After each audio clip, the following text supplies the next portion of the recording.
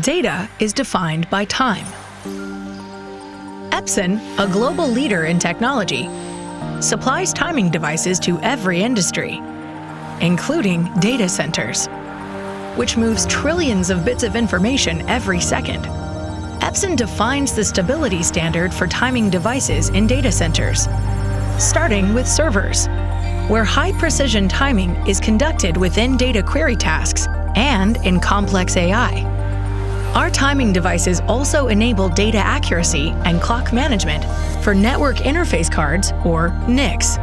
And the higher the data rates, the more critical low-noise timing becomes.